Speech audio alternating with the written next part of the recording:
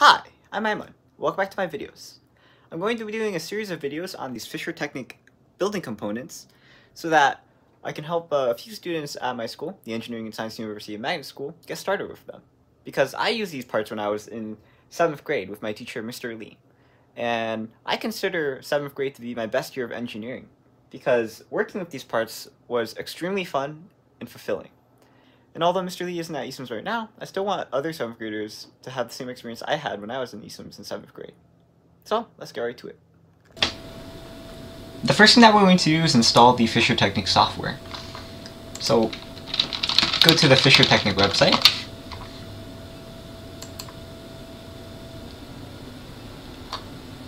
And what you want to do is go to Service, go to Downloads, and then click Robotics Downloads. So right here we have two options for the software that we want to use, RoboPro or RoboPro Lite. Uh, I believe RoboPro Lite can only use Bluetooth interfaces, so we're going to be using regular RoboPro. What you want to do is you want to download the most recent version. Even though this is update, this is still a download. Uh, you don't need to have RoboPro already installed, and you don't need to have a license to use it. So press update RoboPro 4.70, save the file, and this will take 6 minutes. In the meantime, let's take a look at our FischerTechnik Robo interface, which will essentially function as our brain. As you can see, it has many pinholes that each connect to electrical wires that connect to the FischerTechnik components, the electrical components, to turn them off and on, or take a signal from them if they're an input. It also has these two ports on the back. One of them is for a USB connection through USB-B and regular USB, as well as the AC input, which I believe is 12 volts. So let's plug this in. Alright, so first we'll connect USB-B then we'll attach the power. As soon as we connect it, you can see that it turns on, it starts glowing, and my computer says it's setting up the FischerTechnik Robo interface.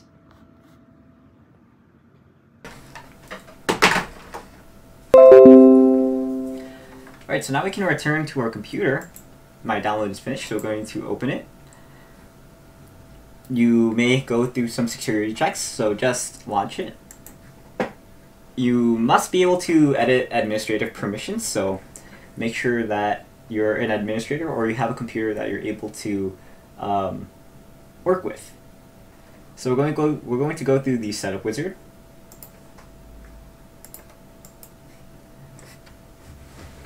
Let it install.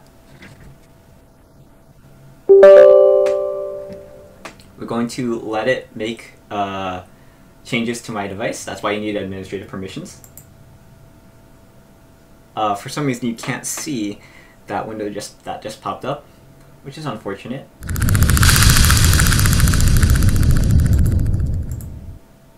And as you can see, the terminal is installed. So we're going to finish it.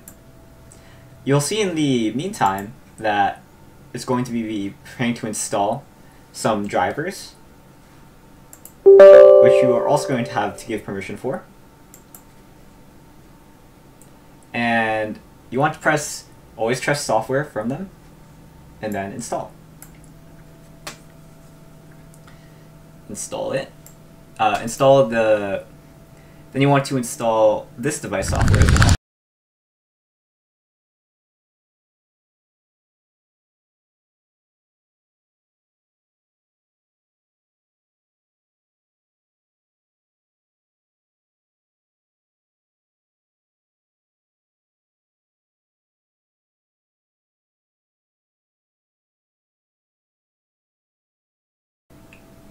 Now, you can choose not to install them. I, I don't know what happens if you don't.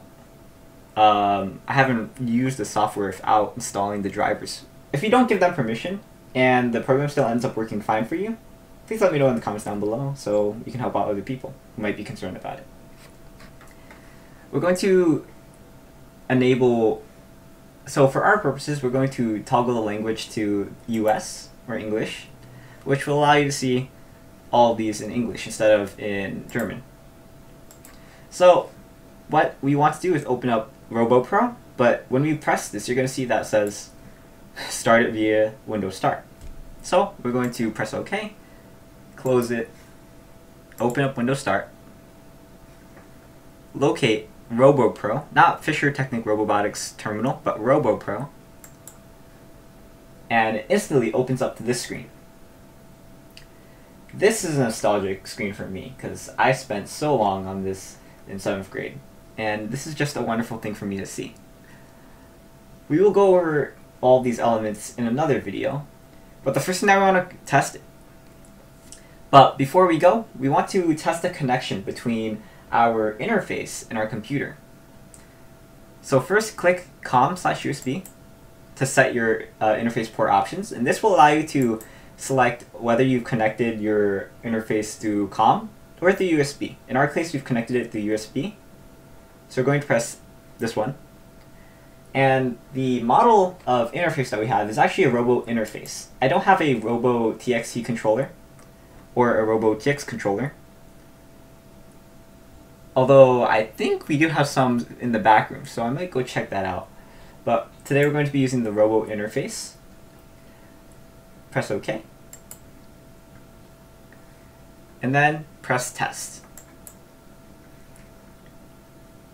This window right here allows you to manage your interface. It allows you to control outputs, allows you to read inputs, and allows you to see if the connection is actually running, which is the most important part right now. The first thing that we're going to do is connect a motor to our interface and see if it actually outputs correctly. So first we're going to do is we're going to take a motor.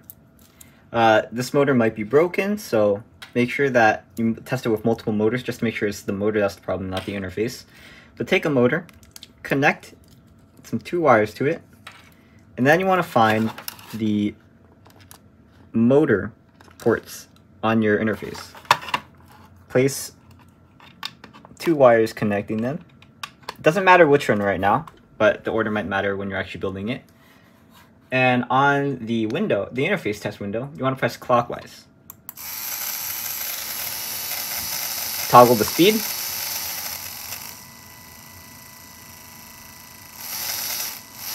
Press clockwise.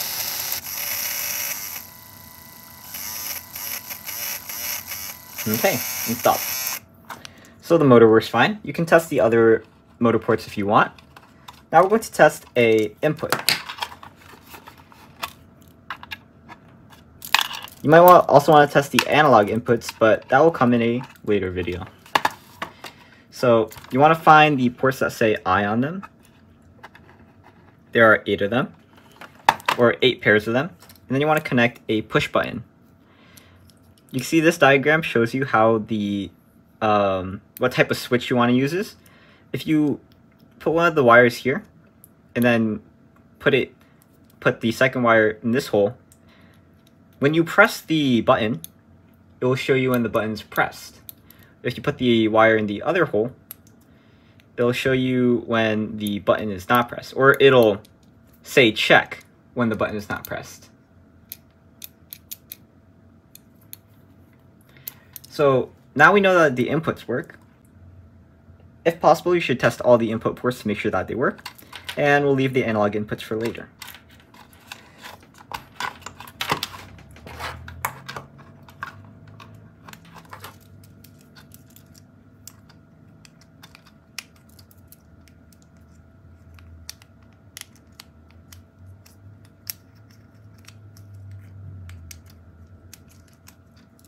Okay.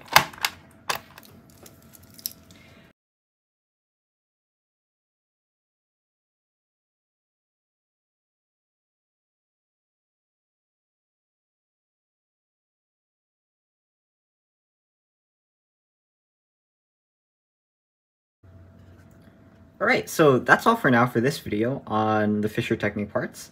Uh, first thing that we did was just get our robot interface up and ready, and we also installed the software on the computer. Go check out my next video for